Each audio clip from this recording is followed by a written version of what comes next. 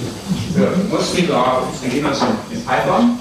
Uh, who of you never used uh, uh, Jupyter Notebook? Who's using Jupyter Notebooks less than a year? Okay, the we're going to use uh, Jupyter Notebook. So you have everything installed. So recommendations. This will be a hands-on thing, so I will be typing, and you might type along or just watch, but typically it's typing. I try not to be too fast. If you have a problem, Susanna will help you look at your program, uh, the screen. Um, you're supposed to install everything before, and if you start installing now, you're a bit too late, you will miss a lot of unfortunate. But you can always look at here and always material in here. Uh, I will don't do exactly the same thing, but the, the, the information is actually there. So if you want to do this, just copy and paste it, which is not recommended. Uh, you want to have it. It's, yeah. It doesn't do copy and paste into Stack Overflow, which is not good method. You learn, just retype all stuff. Okay. First of all, you should create a new directory. Make a new directory. I call it EuroSciPy 2017. You might call it Python tutorial or something and then always work out of this directory, changes. I'm using conda, and I made a new environment, which is Python 3.6. If you have one most of these are environments, you have environments, you have an environment. So the whole thing is you have to have Python school. I use Python 3.6. If you use the other version, it should be fine. You can, still use legacy Python, which is Python 3.7, it should work. Uh, just it for the print, so I think this should be Python 3.6 is recommended. To make a directory, and then you type Python, Python should show up. That's the proof that Python is installed. There's not the very last version, you should update it, but it's fine, it's like 361, so is sorry. But it doesn't matter for this purposes, and go out. And now we use Jupyter Notebook. So you type Jupyter, and then Notebook. It will start Jupyter Notebook. You might have done this already from other, other tutorials. And the, thing is, you have to, you should be in this directory. You want to put the notebooks to which is the easiest. So if you CD in this directory first, you just create it and then type the Notebook. And if everything's set up the right way, then um, the sort could start, and you should see something like this coming up in your directory. I have a file in there because I copied it there. There's a download. Uh, if you have made a new directory, this thing should be empty it should be empty. And first we're going to work in the browser. Notebook first it works in the browser and in the browser. So everybody has this. Good. So uh,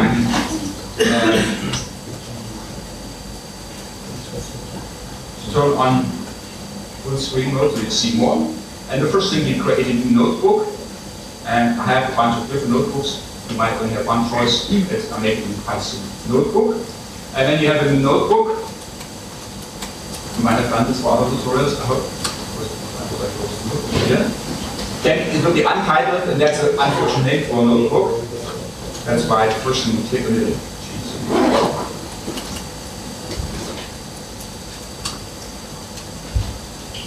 You can call whatever you like. Uh, intro or feel free. And now, actually, uh, this will be the file name, and if you type something like in here percent ls, which is one of these notebook magic percent over into the magic, then you will see here this file network intro extension IP1MD, which stands for iPython notebook. And this notebook was iPython notebook before, but they changed the name because it's now different programming languages and therefore they changed the name to Jupyter, where the divide into Python. Uh, could you maybe increase the font size uh, one step or? Yeah, so that's. Thanks. So you see, the problem is if it's big like this and it's saving your notebook is always changing the screen and that's something technical easier. Okay, so that's a. Uh, yeah. Um, I looked at this menu and I looked at the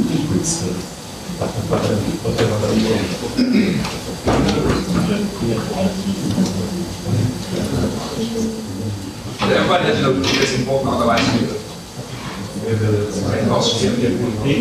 Some, for some of you, it might be very from a thing you've many times. It's not too many people. Okay, now this is normal Python. You see, that's that's a problem because always the make it small, otherwise the drag race was jumping around. Um, you want to drop this matplotlib, and I just want to show you this. Matplotlib is a very, very good library. By the way, you can also not only um, not only type Python, so this is good even with Python. So if I type shift enter, by the way, shift enter is a, uh, a way to execute a cell. If you want to know more about it, there's a lot of help, and one of them is keyboard shortcuts. So have a quick look at keyboard shortcuts that gives you an overview of what all the keyboard shortcuts are doing. And the most important one is typically shift enter, which is um, yep, it says you have to press escape, enter the contact, and then uh, it, it's something. Run cell, select below, that's shift enter. Yeah? So I run cell and it creates a new cell. You have alt enter, then it a cell normally. So this new one, the end it creates one with shift enter, if you doesn't have some directions, you can this really might look different in a different operating system. The shortcuts might look different because you have different keys, macro like this one. Okay, you can also uh, change the cell content. See, I, I turned off, I turned off the header here actually, or the, toolbar, and you can change the, content. Uh, here I can say insert cell path, which is useful. That's also keyboard shortcut, it's K, A, and then you can change the, the mode to markdown, and then you can write something. You see, you have special um, and then you have this, which is markdown. Of course, I have for markdown. Markdown is very easy. You can do like five different things, like a, this hashtag gives you a header first order, and you can make a nice notebook, and you can write it in so you're supposed to write your own notebook here. And now you can always have this. There's a shortcut. If, if I say SK6, then I get a markdown cell with a header of level 6, and now I have a level 6 header. Yeah? Something like this, which is smaller than this. There's a maximum number of levels of headers you can have, so you have some similar to the open Good. We're going to spend most of the time in the IPython notebook. Matplotlib also works from the command line or from the IPython prompt or from other tools. Uh, the commands for Matplotlib are exactly the same. But when you run from the, the last thing an animation. The animation, as I programmed it, doesn't go from the notebook, it runs only from the command line. You need to have command line, so you need to or something to edit the script if you want, and then you can run something one time that will pop up the window. Good. Let's get uh, to work with Matplotlib. When you work with Matplotlib in the notebook, you have two different modes you can run it. There's another of these magic commands. If you type mat and then tab, it expands automatically. And I set the mode to inline. If you don't do this, you won't see an output. It will be empty then. You something which is not nice. And inline means the output will be rendered as a PNG, as a picture, and you can see now, the first thing, of course, we have to do import. See how all this, and then type in, and then tab the expense. So you start typing something, and then the tab, and the interface just import, matplotlib, and you see, now I get a long list, uh, plot, pyplot, pyplot, as PLT. That's a convention. You might see some of conventions. So pandas, uh, NumPy is typically imported as NumPy as NP, pandas as PD, and this pyplot as PLT. It's very common. And very often when you see somebody give reference PLT, then you know it's a Matplotlib has different ways to with. We use the simplest one first, the very interactive one. We will see later on there's a one that where there's more like object-oriented, make objects and references. Here we just I just uh, turn off the toolbar and the header so we get a bit more screen face. Okay, that's the first thing. And now we can do a plot. And of course we can also say import NumPy as a key since we have NumPy. So who of you took part in NumPy tutorial yesterday? So you know basic NumPy. If you, if you don't have to use NumPy for Matplotlib, Matplotlib is totally fine, use Python lists. But NumPy arrays are. So you can say x equals NumPy a range uh, 2 to 11, which gives you um, a new array x, the numbers 2 to 10, so 2 inclusive, 11 exclusive. And you can say y, and y is x squared. You want? And then you have y. You need some data and now you can say plt dot plot, which is the simplest one, which produces a plot. If you don't do anything special, you get a line. Let's say x versus y, and when you do this, it and when you and map the inline, then you see the. You see, it returns. This thing is a return. You see, this is an how the notebook works. You always get a return value. Not all my cells have return values. You notice, if I do assignment, there's no return value because I assign this return value to x, and this is a statement here. And then you have a statement like this, there's no output.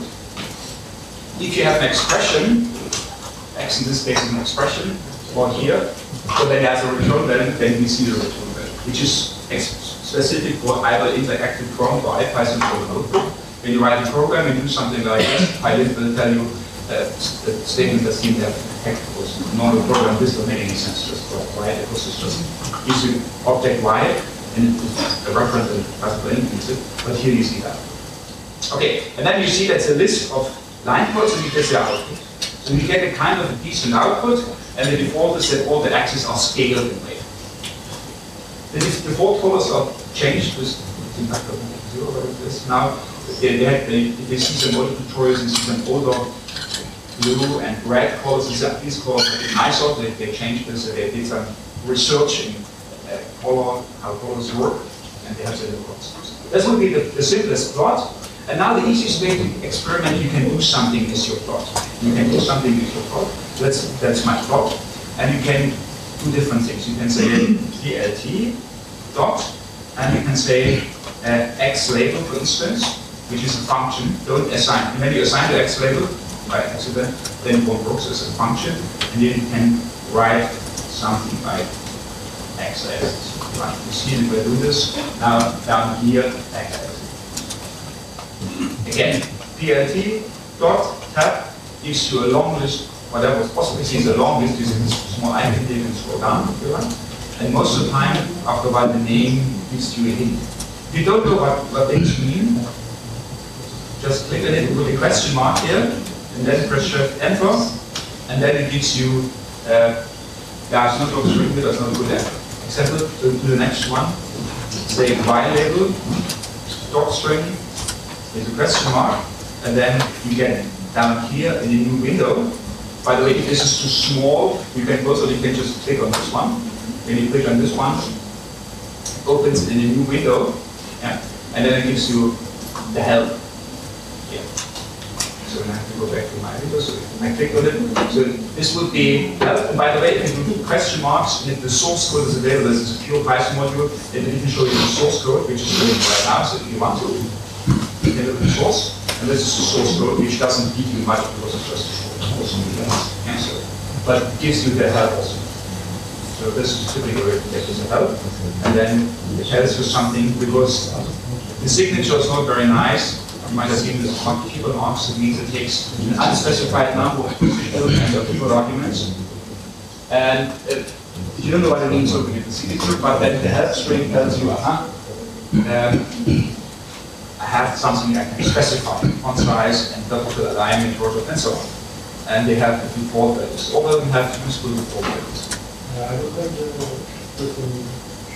Yeah, you have to set matplotlib inline. Yeah, so you have to say, if you don't set inline, uh, you, you set the back end. There are, there are multiple back ends. So matplotlib supports GTK, WS, Python, T, and Tkinter as backends of the three back end. But you can have different back ends. If you don't set the back end, it just plots it somewhere where it is. So that doesn't. So you have to set matplotlib inline. This would be the first move. So How, to change the default uh, name is plots? Yeah, you're going to do the fix set the properties step by step. So um, there's, there's a lot of ways you can change pretty much everything, you probably have to find it. So, uh, okay, so now I changed at the y-axis and so on, so you can set a lot of these.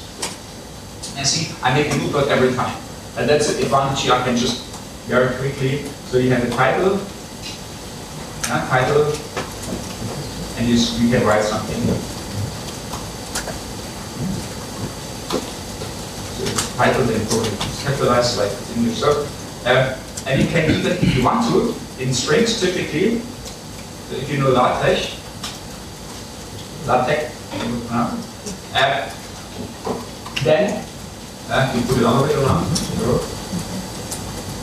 backslash, and then you can use math mode, math mode in LaTeX, and then you can use all this numerical formulas. And this would be just pi, like a Greek letter, but you can also use uh, integrals and, and uh, math mode supports. And the work for anything that's script, title, access, and little bit different text you can write with table. So this would be one thing, and then there's other options. You can say like plt dot which is also a function more. So the API, admittedly, is not very Pythonic. It's written by a person who does very efficient plus programmer and didn't. Uh, and there, so the API doesn't. This would be redone probably that would, would look different, but that's the way. And um, now you have um, a grid, for instance.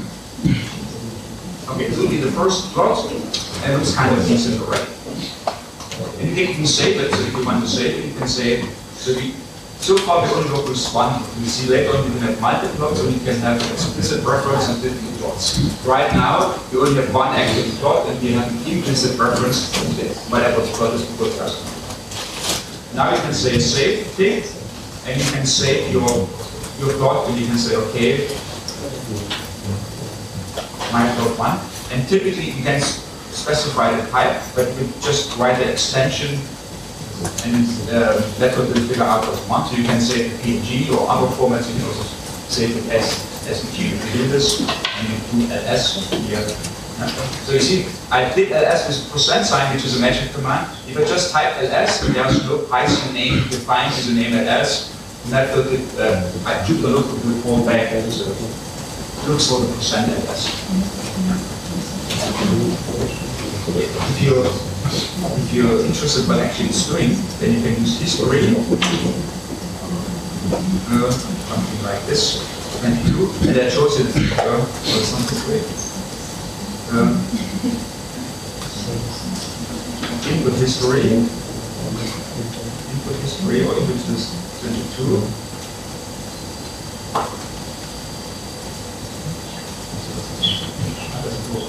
Then you export it. So you can export the cell, then you can see actually that, that it says get i get i Python. I'm moving right now, it looks, but this ls actually translates to get i Python and for the background to some Python.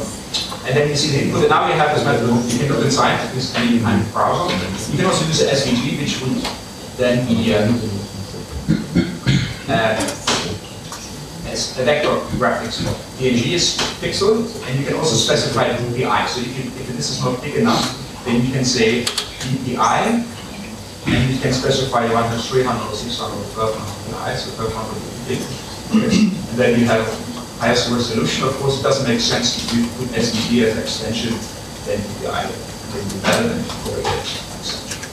So now we have the plot saved. And that's also the method. Of course, now if you want to save a lot of plots, you just write a loop, exchange the data, and save a bunch of PNGs. That's actually a good method if you want to make a video. That's probably the easiest one. Just make a directory and save your plots with 001, 002, 003, and so on. Then use that for impact. Just it with the video, that's pretty easy. You can do it in Freelance yourself, and then Impact has hundreds of options to make nice videos. Of course, you have to change the data to make your nice screen. Okay, this would be the basic plot. Uh, and keep it for now, and I just copy the whole thing. Now I'll show you a little bit how you can do more properties, so just over quick. So you can also do a plot, and you can specify a label, which is a good idea typically. You can say label.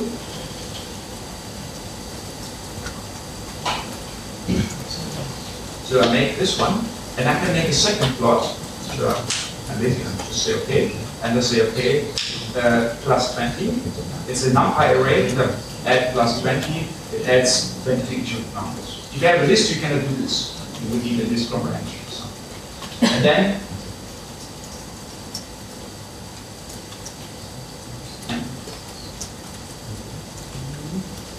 So, and when you do this, nothing changes, only that you have two plots. You see that it takes a default code, this you change codes immediately later on. But now you can say uh, plt dot legend, and then it puts a legend right there. So you can specify a lot of options for the legend also, like the position and stuff. Here it puts a legend and it takes a label. That's probably the best way of doing it. Just label those, those plots then you don't have to method. You can also, if you don't label it, explicitly give a list of strings to the legend, but then you have to take care that those names also apply to that or as order is metal. Here, you go by, you don't have to put the name there. That's all. So now, let's change the mode now to see how this works. I can say matplotlib notebook. There's another back end, and this is a specific back end. So when I copy my whole thing from here, just for detective reasons, so we give any do it yourself, just change it, but because I will upload this notebook later on, you will get it. And then I do this, uh, you won't see anything that's, I don't know, you have to do it, the whole thing again, you can go in again, shift enter, shift enter, and then you see the problem. So that's kind of a bug or something. Something in the browser, so you always have to execute four cells twice. And you see, it, I execute the cell, you see it, uh, this is cell, cell 26, this is cell 29. 27 and 28 don't exist anymore. So they're not in the notebook, but they're still in the history, by the way. So yeah, if you look in the history, if I look at the history, then you can find all these inputs, they're still there, as long as the code is alive. Code is still one but the cells don't exist in the notebook anymore. And when you change it successfully and execute it twice, then you should see something like this. So that's an interactive mode. And now you have a bunch of buttons down here. And this is, if you uh, go over them, wait for a few seconds, then you see a help. We have zoom, we can zoom in. For instance, if I click on it, then the cursor changes, and now I can zoom in. See, and see, if I, since I, I the default for the location of the legend is best. Now I changed my plots, and now my line, this orange line here would go right through the legend, that's why the legend is moving to a different place. And you, then you have this one, this is uh, 10, which means now, because of the changes, if I move it around, you see now the legend is jumping around, because it has a location best, it always finds a way where it doesn't uh, get cut by a line. So sometimes if, if everything before the blind obviously doesn't work, then there's no way to put the legend. You can also place a legend outside if you want. You have Um, sorry, could you explain how you get to this point? yeah, so you have to go here and execute the cells twice. Shift enter, shift enter, up there, shift enter, shift enter. You will see why here. So you need a, typically, uh, if you're Windows, you have Internet Explorer, uh, it might not everything might not use Firefox. Firefox works, Firefox, Chrome, work, Edge might work, I don't have my I know in Internet Explorer, you always have to click in the cell again. Here I can just type, and then comes the next cell, next cell, and you can move the mouse between the cell. Somehow doesn't activate the next cell for some reason. So, to my experience, Firefox and Chrome on Windows is better. Safari and Mac. So you need a kind of a recent browser that supports sockets, web sockets, and uh, has the. You should use is this? So this is interesting, uh, but you see, uh, you can also now uh, click. If I can click on this one, then it stops interaction and it freezes a picture the state you zoomed in. So you can work with it and okay, now I want this, now you have this picture and it freezes right there. So that's. Typically I prefer this inline mode because it's a bit, otherwise you always, if you don't close closest and do now point plots in this old window, the Raman old window, we change the old one, which is kind of different workflow. So typically I prefer inline for experimenting. If you want to zoom in, you should you do this. So now we have a decent plot already. So I, I go back to my inline mode. You could have to, you can keep it, but typically it's easier to because I make cell after cell after cell. So you can this. So you see uh, what I have here in my script. Okay, there's a bunch of other things we can do. So we have this plot here, and I just keep copying. So of course, otherwise, we can look and I change the cell again and again and again. You can see the cells. So you can specify properties. Properties are very important. In a very short way. So the name Matplotlib, uh, you might guess it comes from MATLAB. MATLAB is a commercial package that's used a lot in America for since quite a lot of courses of people have changed MATLAB. And therefore, a lot of things are very similar to MATLAB. So if you're a MATLAB user, you can see a lot of similarities. And the easiest way to specify properties of a line is a string. There are other ways of doing it. So the easiest way would be to say, I want to have a red line. So you put the R, there are many different ways of specifying colors. The simplest one would be one letter. But that's only like five or six. But now you see, it's red. It used to be blue. And now is red, the next one changes blue, that they have some kind of scheme there. See, okay, this is red, the next one I don't make orange blue, it's called again zero. This would be one. And then you can also specify that you want to have a dashed line. There's a, uh, if you look at the documentation, there's a long table of symbols. Many, many different symbols. I call them the dotted line, dashed line, dashed dotted, back line, looking at the symbols. You can do something like this now. that. And you can also add the markers. So you can have a symbol for the markers, like a plus. Uh, let's let's make the, the lowercase o makes a little circle. Now you get the marker at every place where you put data point. Uh, created numbers two to uh, two to eleven, which is nine numbers, and should you can't you should see nine ones. If have many ones, you can also, there's also mark every, there's many, many more arguments. This line can be much, much longer. You can achieve the same thing, being more explicit, say color. Now you can set a color, which you could say, okay, I want to have uh, yellow, and now it makes yellow, instance. It's kind of yellow. Looks more yellow. So, you that's one way of doing it, but you can also say light uh, this color digests a lot of different inputs, and one of them would be, there's like eight or more names. These are typically the names, there's also a documentation, but the names we will be Wikipedia, which are defined in HTML as color names, and we just use the English word. Like for instance, or sometimes very long color names I never saw before. Uh, that would be one way to specify it. But you can also specify a tuple with RGB. So if you don't want it on the explicit, you like to find a calculated column, then you just add tuple, you say 0.5, 0.5, 0.5, there should be kind of range. Uh, and so now I have 50% relatively different uh, RGB green and blue.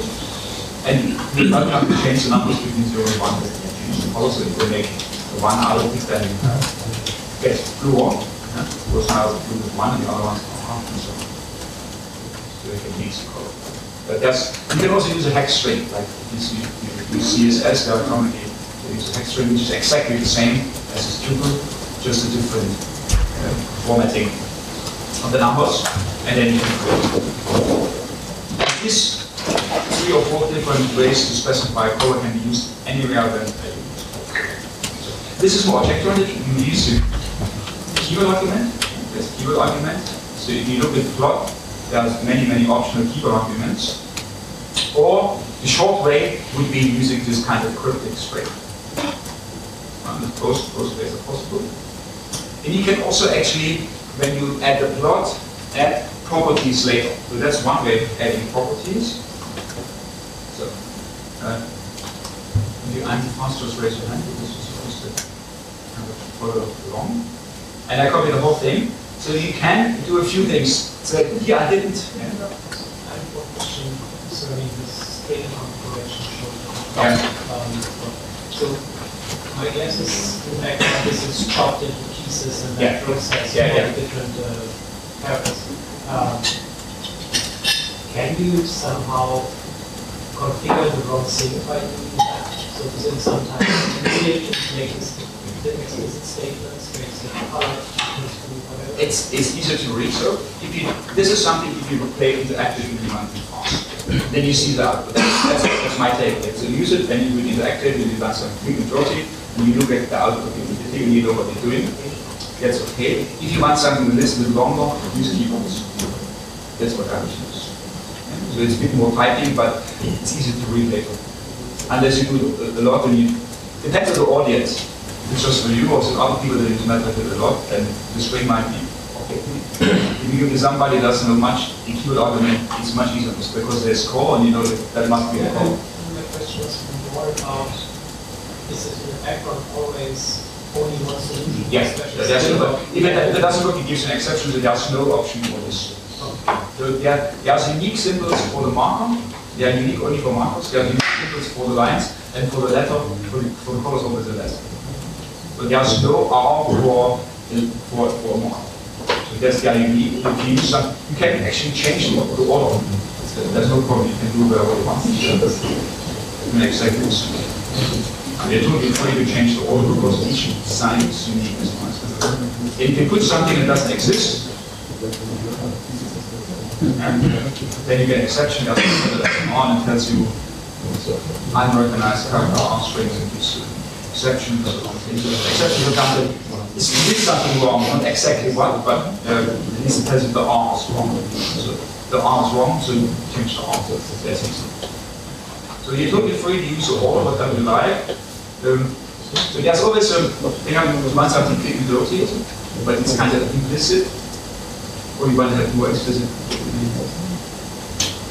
Das would be more, more Pythonic, yeah, so it was, uh, you might this, that uh, implicit, explicit doesn't implicit somewhere down here. And that, that's you and also should be one, and obviously one it, so it should be one, and probably only one obvious way to do it, and not that we have at least 10 ways. And I was, this, I was quite surprised that somebody has yet another way to do the same thing. Because you have so many options to put this together. you can put it back. Okay, now that's what I did here. Uh, and now there's many different ways to get the explicit reference. I didn't, didn't do it, I threw away the reference, but you can also say an axis is uh, PLT get current axis. This is a very MATLAB, MATLAB-like command. And now I have this axis. So uh, I just, I can delete this, by, by the way, escape DB. This is uh, so for the the users or end users. And then I have an x, which is my axis, and now I can uh, uh, rotate this axis. And I can actually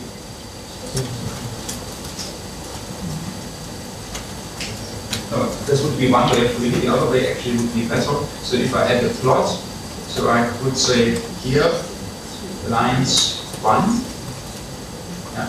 So uh, this always gives you back a list of plots because you can actually, instead of this, okay, let's go like this. See now lines one, if I do this, uh, then lines one is a list of uh, plots, and I did only added only one. You can also add two plots. You can say plot I could use two plots in one, say x, y, x, uh, y plus 20. That's what I, what I did before. So you can plot it like this. You see now, uh, let me say two. Now I get a return, I get a distance 2. So you can add plot two of them. The problem is if I use keyword arguments, of them get, get the same. I can use different colors, at least not in this way. You can use a string though, but you can use a color thing with the label. You can label that because we have one label. I'm sure you can try this. So, uh, yeah. Could you show again how to get the objects? Yeah, so, that, so when you say plot always returns a list of plots, so it would be easy. So I didn't bother to just throw it away, but you can get a reference to this. Yeah, So plot returns a list of plots.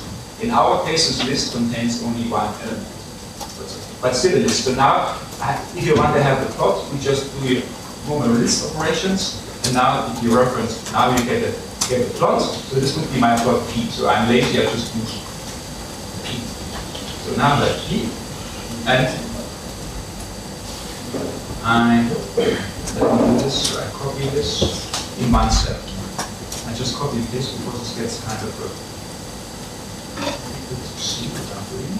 So I have P, and now I can say P dot set underscore and then tab, and then gives me a long list of stuff that I can do. So all this, most of the objects have set underscore something method, many of them, many of them. Um, and these are kind of created dynamically more or less, and then it tells you what you can set. So you can say like set color, and now I can set the.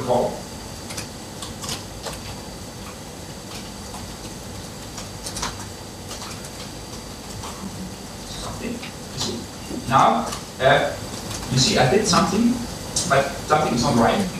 See now, my nice plot is green, but there's something wrong with my plot. Who sees what's wrong with my plot? So the legend. The legend is still red. Because it plots, it it prints a logic, legend with red, and then later on I change the, the color makes it, makes it, that doesn't make any sense. So, rule of thumb, always put the legend at the end, otherwise you might end up with error script, but we don't And now, this is the way it works. It doesn't undo it at all. You have to unpaint it. It's just once you, like a piece, once you write on a piece of paper, it's there, it's not erased. In this case, so you have to be careful. So, rule of thumb, always put the legend out. Otherwise, legend might not go in. It doesn't make a lot of sense actually what I did here, to, to set the color to red here and then to set the color to green. In most cases, but that's a six line equal? Yeah, so when I make create this plot, it returns a list of all plots. In this case, this list contains only one plot. Yeah, so this returns a list. And I, I call this one lines one. So because every plot contains a line, and this is the first one with plots. And here I, I just access this normal indexing in Python the first one, which gives me the first plot, which is P. And this P, once you execute the cell, you can see P dot indicates a long list, set something, and I can change the property of P. And here I say, okay, make it dot green. So will we have multiple plots in the same line, in a single line, so then one? Yeah, so that's what I did up here. So if you have multiple, now you say, okay, that's my lines. Yeah. See, now it's lines. Uh, that would be one way of doing it. But you could also say uh, line one, comma line two, which is tuple unpacking, which would now this this assumes that this plot returns exactly two. If it returns only one or three, we get an exception. So now I have this tuple unpacking thing, and then you can say line one dot set something, and you can say set uh, line style, yeah? and I can say line style column, and now change the line style, which is the column is makes both lines.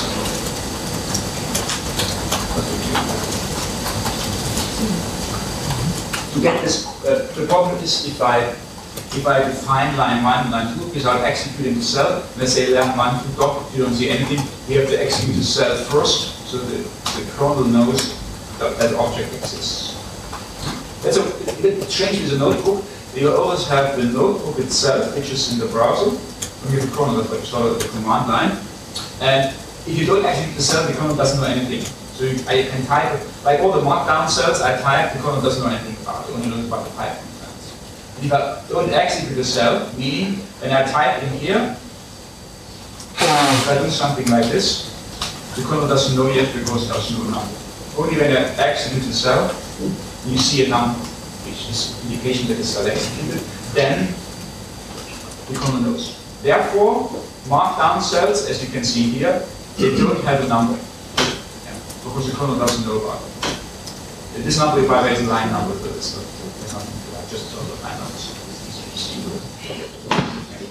but there's no in number, and therefore, if there's no in number, the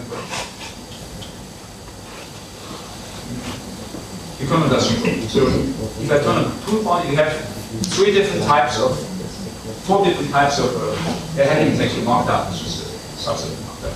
Uh, you have code, which is the code, which is Python in this case, could be something else if you use a different programming language. And so the, note, the Jupyter Notebook supports about 60 languages, so you should find any usable language, there should be a Chrome. So I use it for Haskell, there's very good Julia, Chrome, there's, you can see it fun, whatever, however it does.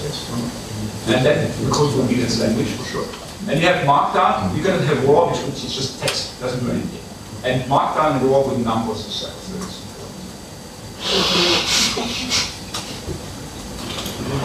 Just, so everything you can do is a toolbar on the menu, you can do with shortcuts somehow. You see now this is a raw, and if I shift enter, yeah, but it doesn't, it to the clone, because it's just the output something. Uh, maybe it doesn't, but it- it's not, not, it's not Python, so it doesn't get that executed.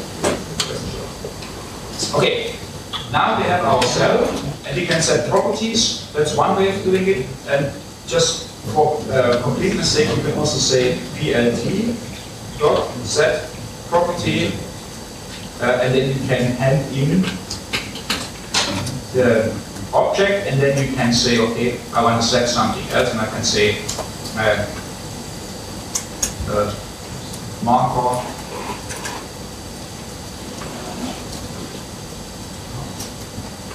style, I guess, uh, I think that's it. Marker style is plus, and then Lines. P, it should be P. So, And it's, me see, but now it's just, I forgot the second. No, no more. So now it's a plus, a marker style marker. So here, obviously, because it's, it uses a strange args, if you look at PLT, that's a problem. Just why it is like this, if you say set P, question mark, yeah, then you see this args and keyword args, which is very unfortunate for help because yeah, I take any position, any keyword arguments, that doesn't help. Yeah? So that's why this down, the program help would give you the signature, and if there's nothing, there's nothing to help, and you have to through here the properties. Huh? But they actually are the same as if you look at your line, line one, P, dot set underscore, and everything after the underscore is typically what you can supply there. You have to go around. It's not, it's not very Pythonic, it's just like you, like you supplying the. So it's, just for completeness sake, maybe you want to do something like this. Who knows? So the property is very important. Now you can make quick, useful plots. And the problem is there are many, many, many, many objects hundreds of options for many of. Nobody really can remember all of them. Because you typically you don't want to have hundreds of types of plots, you want the plots you need, and you have to find out the options once and then you know. And my, I myself always have to go to my own scripts for that, we just go what options need to go for, because they don't use all the time, just get this. But the way typically uh, things work, so you go and I make the, I can go to this matplotlib website, matplotlib.org, yeah.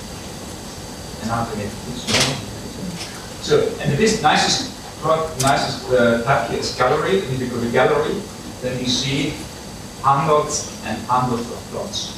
And that's what I call example-driven programming. So you go in here and you look at something what you want, like this. Yeah. So you go in here, and you see this is this plot to sign functions on top, and they're transparent, and they show you the, the code.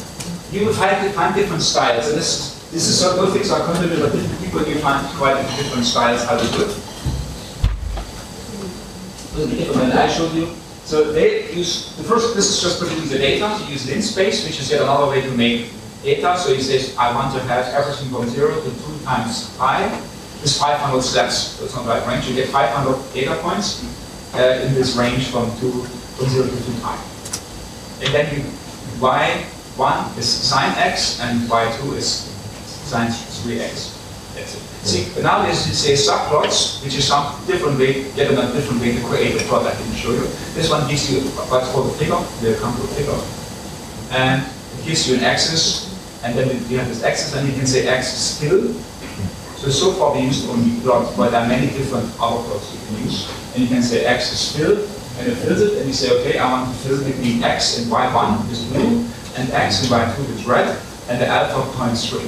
So alpha means transparency. If you put alpha 1, then everything is opaque. If you put alpha 0, then you would see anything. And NPU. It makes kind of pastel icons. Can you use the subplot um, as a MATLAB for making several plots? Yeah, yeah, they they become the subplots. So you can use subplots if you want to have many plots arranged like in a table-like fashion, then you use subplots. You can add as many subplots as you like. Um, here it makes only one subplot. So far we just use plot which makes subplot 1, 1, 1. So, so far we focus on one. But you can have many, many subplots. And you can also, if you like, use a concept called axis, then you can place plot whatever you like. The the subplot makes it very nice and grid to lay out. Okay, so easiest thing is just copy this one. So I don't need to import anymore. So now the program overrides my x. Over here, it overrides my x. Uh, I just can import this x2. And this x2 doesn't override my x. Next time I'm going to something. So if I do this, by the way, this PLT show I don't need here. This is needed when you run it as a script. When you run from the command line, you copy this into a file, you need this PLT show, otherwise nothing shows up. But now, I'm going to do something like this. And get the error because I forgot to put x2 here. Now, this. X. So I, I mixed, I sh- uh, I renamed my x, so it was in one place, x, x2, x2. Okay, so if I change all my x, x2, just I don't want to write x, then you see, I get this plot. And now you can work your way from there. You have a kind of feature you have this one, now you can experiment. So if, if I set if I set it to one, the alpha, which is very nice, then everything's okay. If I set it to zero, then it goes now. It's totally transparent. So one, dot one, you still see something. So you can see it perfect. We set it to nine, I would be. You can see it trying through. So here, since I have two plots, I get the same alpha proportion. That we want to have different alphas, then you have to make two fields on top of this also possibilities. That's if I different. And they use a ST, they use a string, and this string refers to the first plot, and this string refers to the second plot. And also there's other fill options, you can have different kind of for pretty much everything.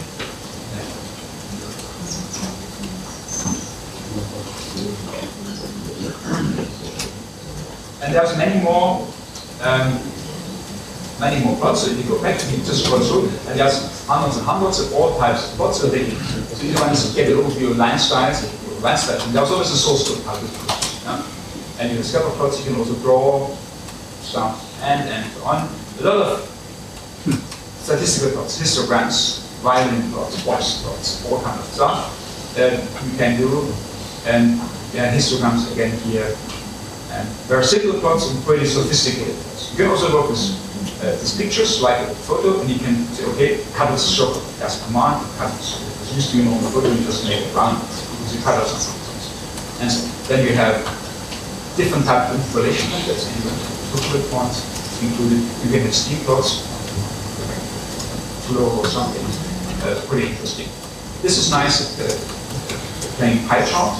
You see, so you have this chart, and you see that exploded, and that's it. This is the first one. It's just the data. So you have to have the data somehow. So the, the labels, the sizes, and then you see this is explode. This makes this, this orange yellow thing here come out. So So you have explode if you like, and then you just, you say pi, again make subplot, say pi, and then you say explode, labels. Uh, here you can specify the format, and they still, they use this percent style uh, text formatting, you might know, string formatting. And since you want to have the percent sign, you have to escape percent sign, hence the double percent. Yeah. That's the way it works. And that means I want to have a 1.1, so uh, one digit long and one decimal uh, percent thing, which makes sense. And then int dot into, and also have to set, if you don't set it, then equal, you get, it- get the egg. That's what, you want to have a round, typically, that's why just set x and equal. Otherwise, it kind of scales it, and then you get this kind of funny shape. And so, yeah, you can find your way out, um, can play around with it, and you get this kind of face. Of course, you can also set alpha and make it square, and all kinds of stuff. So you do the same thing, uh, the same pattern, once you have this, you can typically guess the names. So that's pretty much it. And there's many, many more, many, many more, many. Yeah, but, pretty sophisticated. Nice, so you can, as I said, you can use attack here, and you can make mathematical formula. This is just right there. Here, that's it. We typically use a raw string because you have to use backslash, and if, you don't get, you don't use a raw string, you might end up with like four backslashes, which is ugly. So, so sometimes one two. But if you use a raw string, you can get a radius two. Not if you use So most of the time, when you have environment is off, here it raw string. Okay, that's a property. So you put it into. Okay, so that's the basics. Uh, a few more things I would like to show you. Uh, is how to, how to put text, how to put text very quickly, and then how to arrange subplots. These are the main, main features.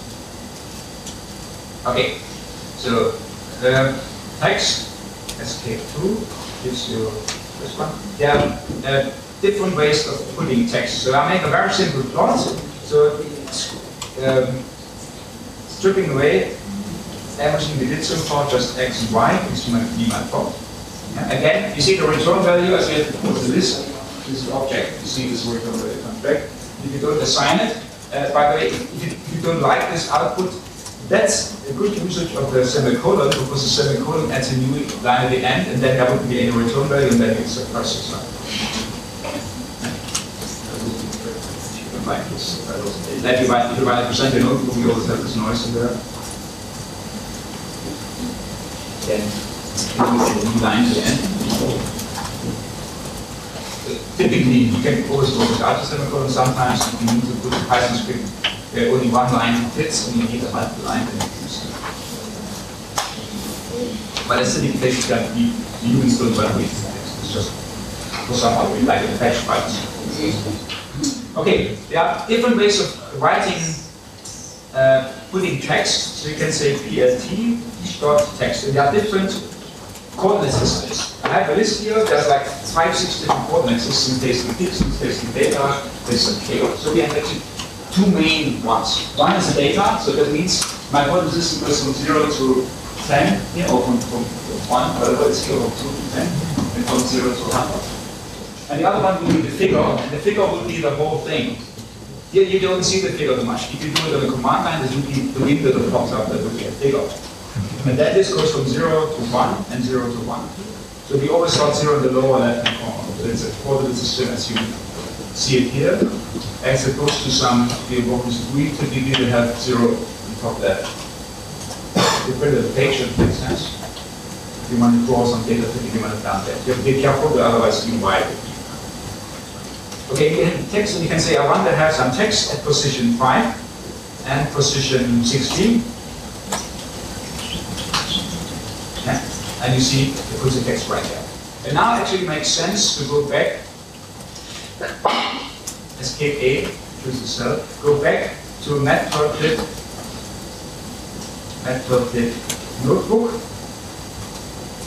notebook mode, do the same thing, now it works for the first time. And now I can do this panning, you see if I pan around. So now I put my text here with data coordinates, and that's why when I move it around, it moves around. Because that's that's it. Okay. This is different from what's called the figure text, fig text, fig text, you can specify here. Now, now you have to put from 0 to 1 from 0 to 1. So if I say 0 0.2 and 0.6,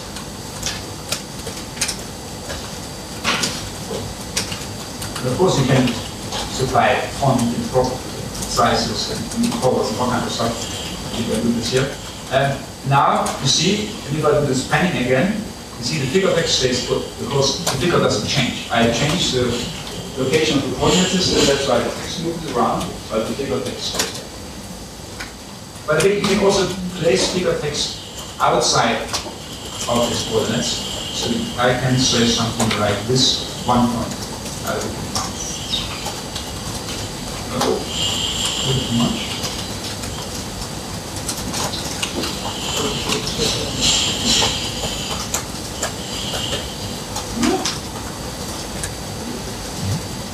Supposed to show up somewhere here.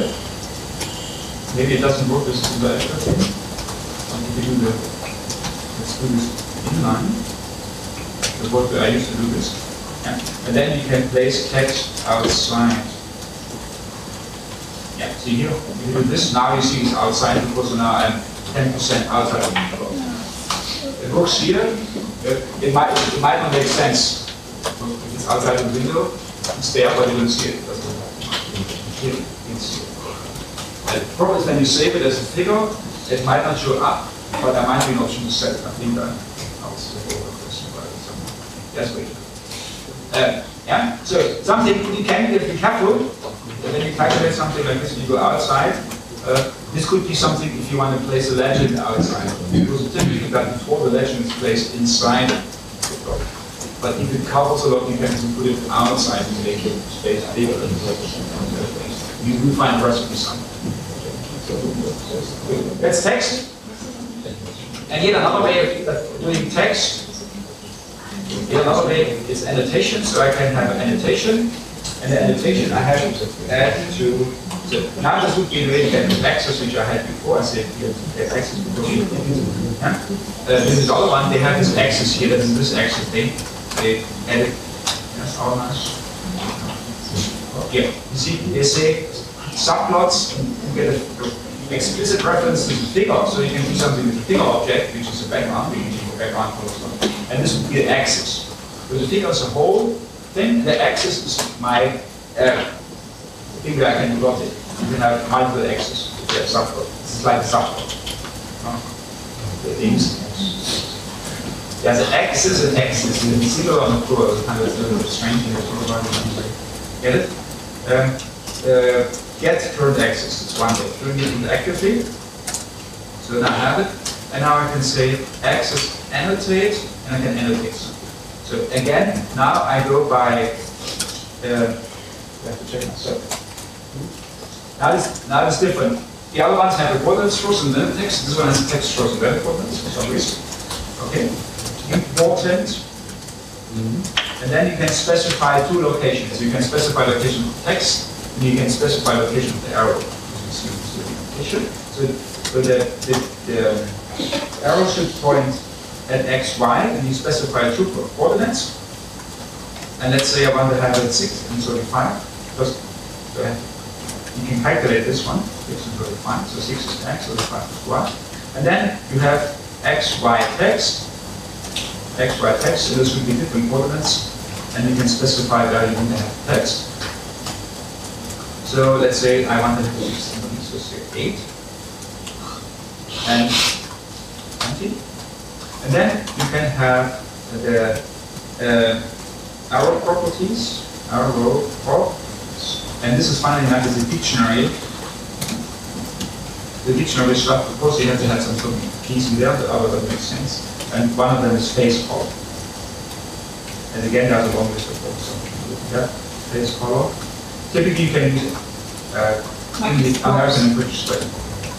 Props, no quotes. Yeah.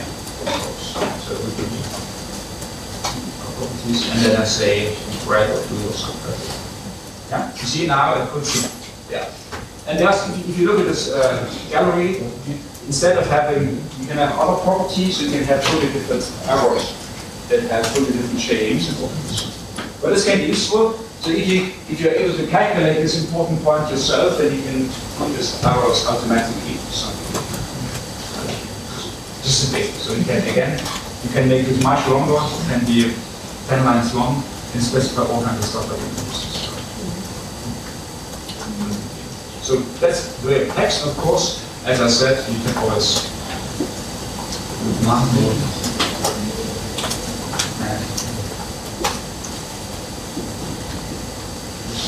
So can use one.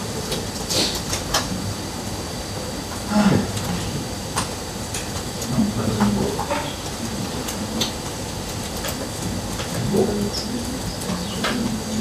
Fireworks. So you have to put some valid stuff in there,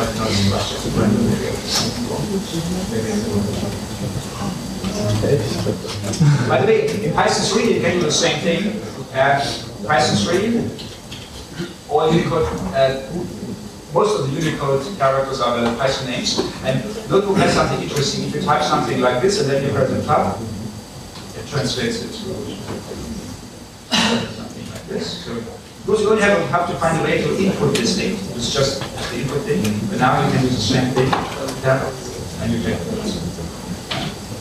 So if you really want to write, you- you're free. So if you want to, you can write the source code in Chinese. You have to ease the stuff in. Then you can write Chinese, Chinese. Or you can, French, you can put all the nice accents, you to put them here, if you want to. Or German, they can put umlauts. So it is also.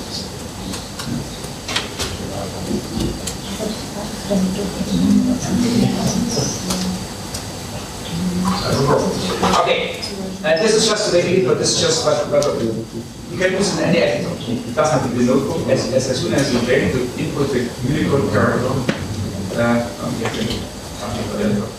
Use it. If you want to use it, it's a different question. So if you have a very mathematically inclined audience, that, might be okay. If you have normal audience in some normal library, mm, I don't know, so other people might be to input thing, they can just copy paste, which is a very complicated program. I always get people, emails from people that have names, I can type the characters over the. Yeah? Okay, that's something you can do. That's text. Uh, uh, I would skip now where the next one ticks, so that you can the ticks. Maybe more important is the subplot concept. Let's put a subplot concept. But the material, it's much longer than one and a half hours, but the, thing is, as you see, there's many, many details. Did something wrong. So.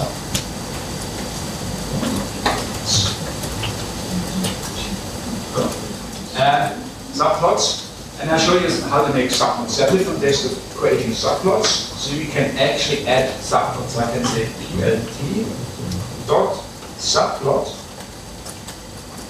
and so far what we did, so implicitly, one, one, one would mean create one row, one column, one subplot, or subplot one. This would be normal empty. But you can also say, I want to have two rows, three columns, and I want to have plot number one. This would be plot number one took call the sum one. So now, you know, the coffee is okay. This would be sub 6, but it can be more than this, 2 times 3 6. Now, we will see pretty much how this works. You see, this is number 1, this is number 6. Let's put another one between and see how this works. So you can uh, either put a comma or you can put it together. As long as it's one digit, then you can put it together. Let's say number 3. Obviously, it's more than 9 when you cannot get you to come And now you can count. Um, this is 1, this is 2, you don't have profit. This is 3, this is 4. And you see, uh, you can write a loop and you can create, you can have plots. And of course, you can plot them. And you can say, okay, sub 1 dot plot x1. Now, everything we did, you can do for each of the. Of course, you need to write a function, just run the function, and you can do the same.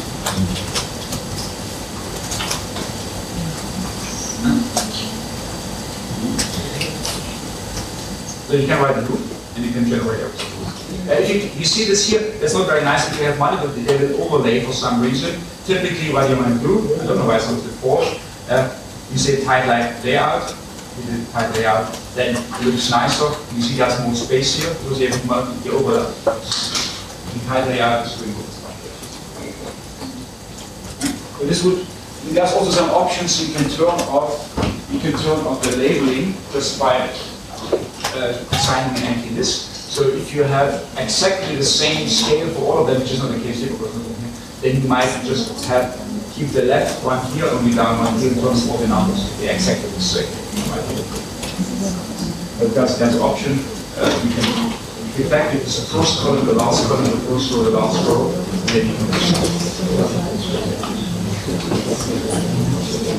Of course, now want, you can write the loop. You can generate as many plots as you like. Yeah. Um, what's the idea behind uh, using the same variable on sub-6 and overwriting it? I mean, it seems to work, but I think if you want to access the second part, that might be troublesome. I, I think that's supposed to be. I mean, I don't know. That was a mistake, thank you. Uh, It didn't have an impact if I would have tried to plot, the would see it with it. So now you could write the loop, whatever you like, or use the generator if you're more fancy, uh, the same thing, uh, you set the loop and do everything the functional style more or less. But that's something you to do. So you could just say uh, rows equals two, columns equals three, four,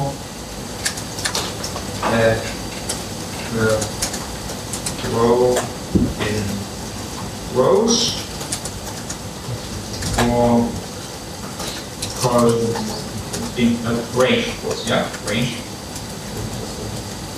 Range rows. The problem is, um,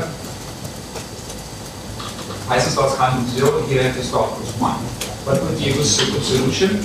Uh, probably you'd say uh, row, uh, row index, row and index, and you don't need the row anymore. You can say range rows. Okay, row. Yeah, okay. I will give it ugly. Okay. I'm just making this up as you can see. So range, you could use enumerate, but you don't need rows, so then you enumerate. One to call plus one to make a simple one. And now you can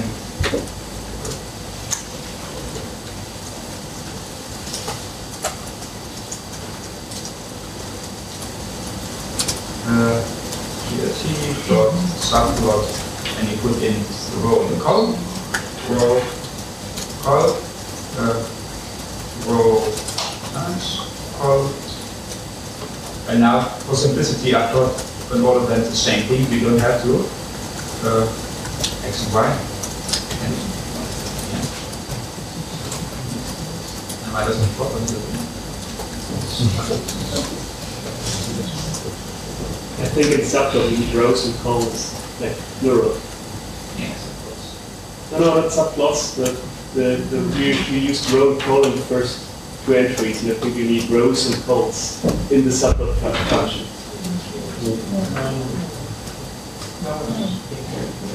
Not those ones, the ones left of it, like the first two entries. Rows,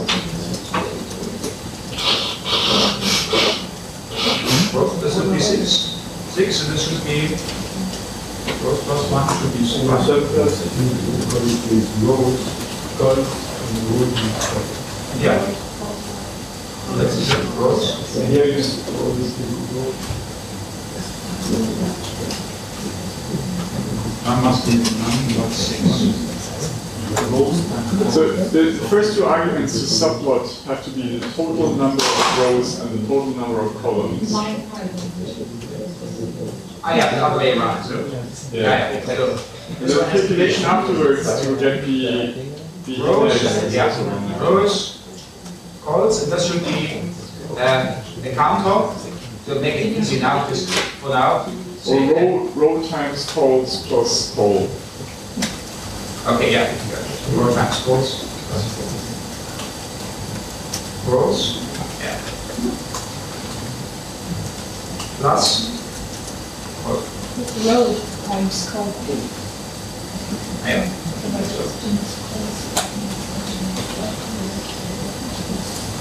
plus code. Road times codes.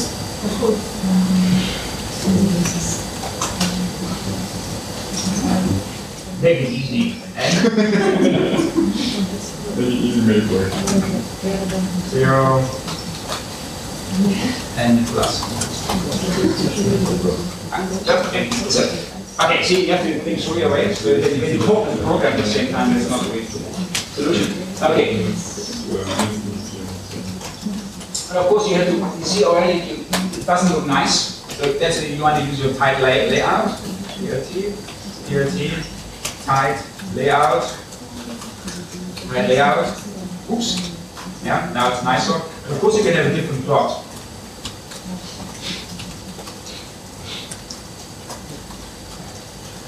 Look at now, I have different, you look at the scale now, I have different scales, 100, 200, 300, no, it's just not that. Of course, you could have, also have different colors, but just have RGB in there and so. This would be something, and if you want to now change it and say, okay, ah, I want a few more rows, and then it should hopefully, yeah. Now you have to fix this. So, you will be flexible, and then, and you can make nice. This would be something typically maybe generate also sometimes um, using this and you can generate the next next one like end the generator. Uh, itertools counter next do the same thing with the partner. Uh, that would be okay. But if people don't know what itertools counter is, then this end zero and equal comments more explicit.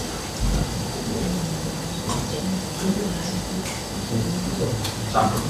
So, and once you have figured this out, you, now you want to move it into a function. This would be, of course, now something that you can do in function, and you could probably have this, this, this drop function with it. So that, that's an example. So now make it a bit nicer. So you say, okay, I want to have the plot many rows, calls, and uh, function is group. Still make it complicated. You can have the function inside, but need a subcode plot. Uh, all of this data absolutely. Uh, but yeah, so but this would make it a little more useful. A little more useful. Now we have the function. Yeah, and then I just say plot many and this mass. Plot many and with super arguments make it explicit so you don't know about you don't remember rows and scores and clauses and then do exactly the same thing but in the function and now it always uses plot but instead of plot you could specify what it's supposed to do. So you could say something like this. Plot equals plot and then you could do something, look at this act elegant.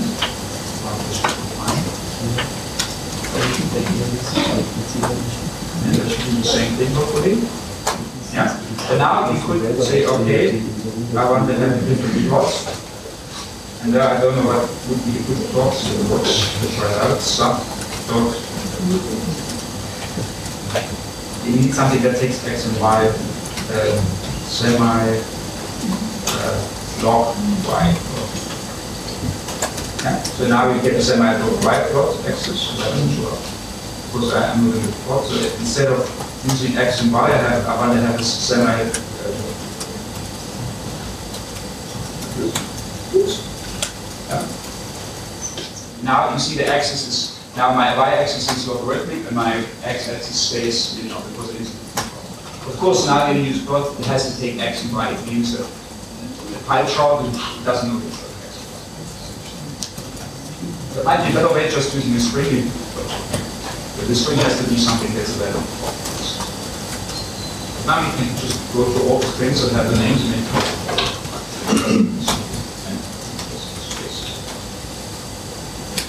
And you do a nice top string, all this.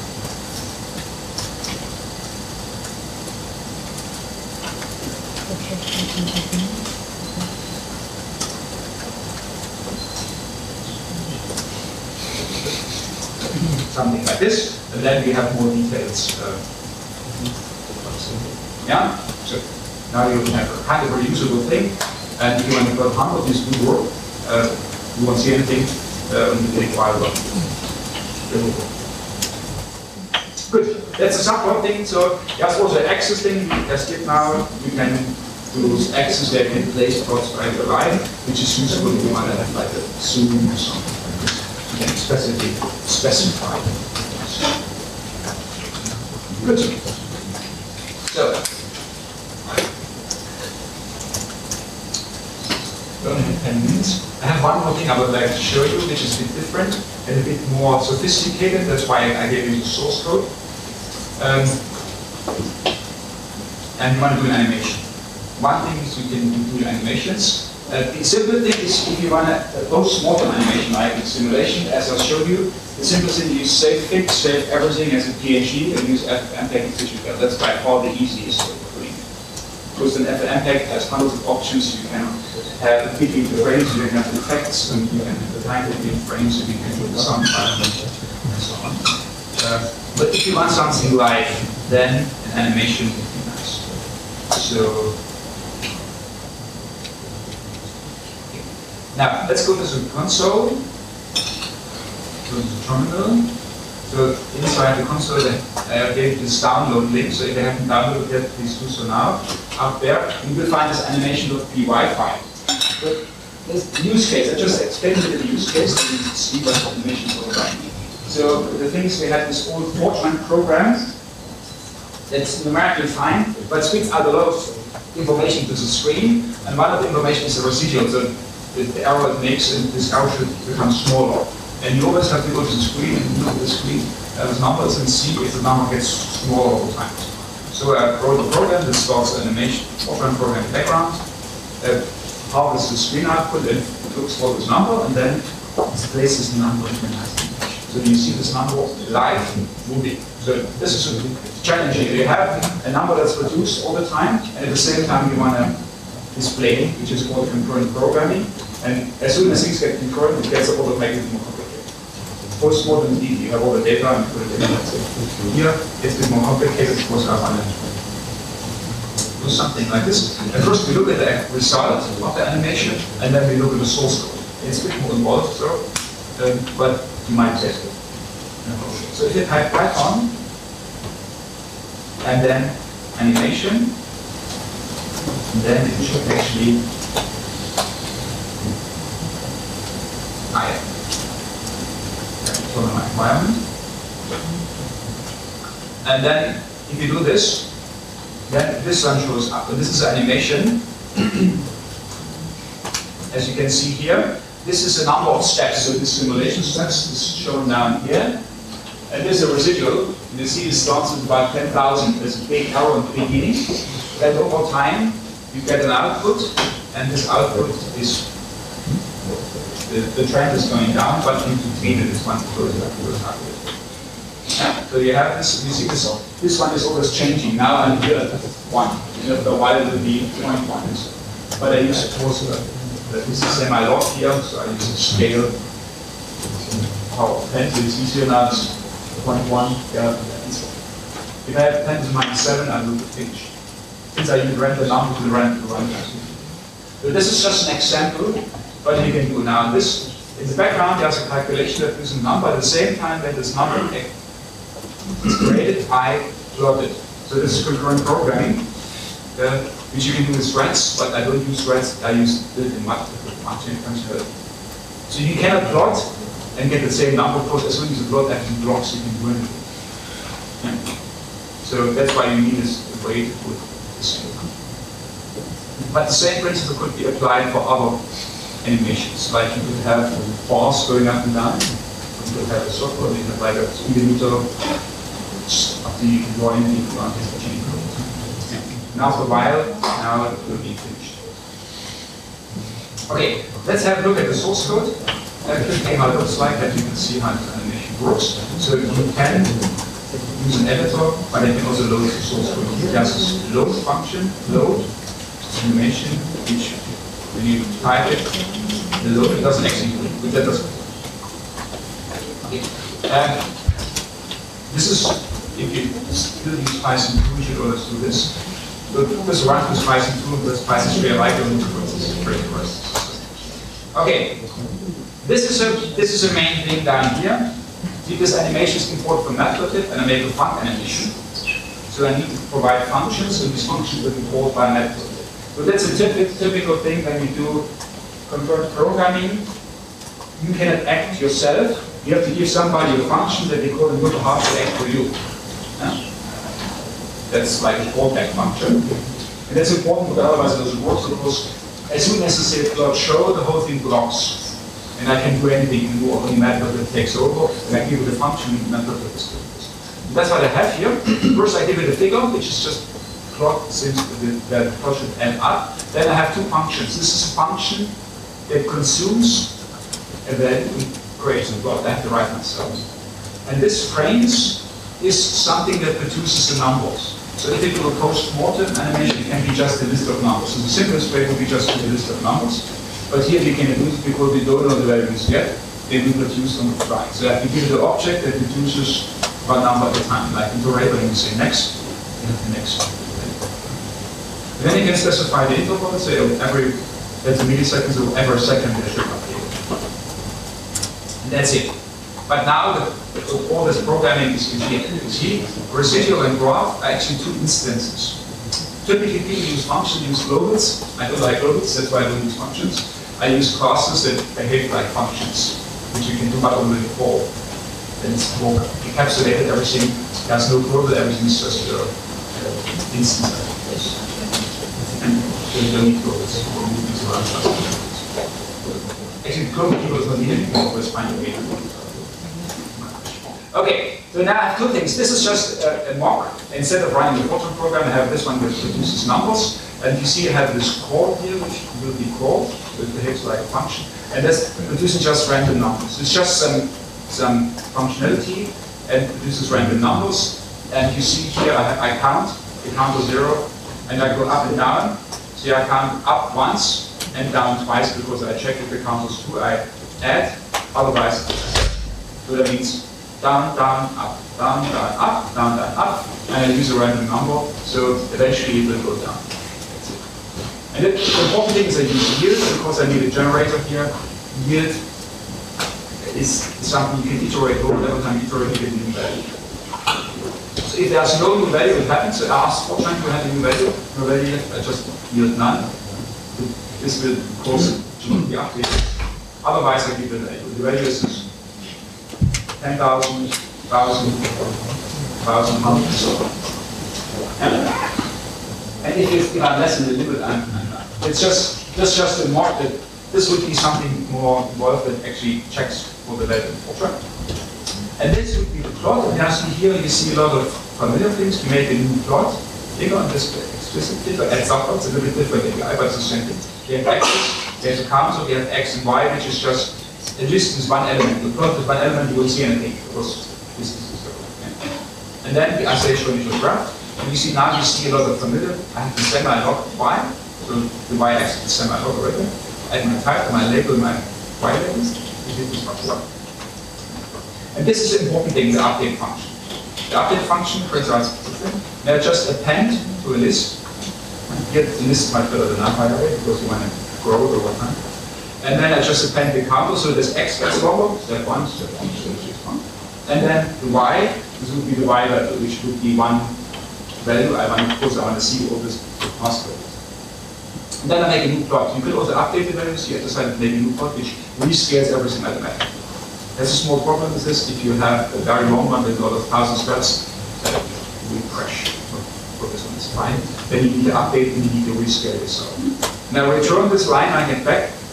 And it's again the code update here for update goes. You could have write very So this will be called and this will be updated. So what happens? This guy produces values you, here, yield value, yield value, and this value will end up here. So, matplotlib is taking the value from one of my functions and hands it over to the other function every second. I can that's it. So, I write the functions that do something, and matplotlib handles data data thing. Because that's the same the same principle will apply no matter what plotting. You can totally change this plotting here, use all version, make animation and annotations, and use the mathematical formulas and here. Yeah? And then you just get the value and based on the value you change the stuff, and that's that's great. You have the second there.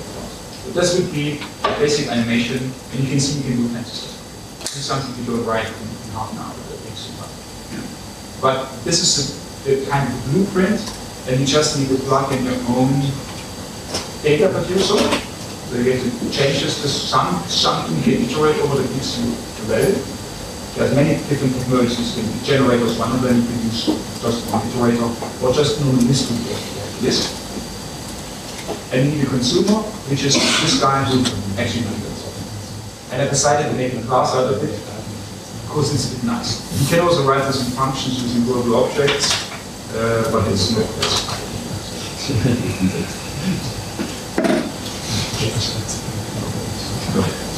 I was talking fast. Time's up.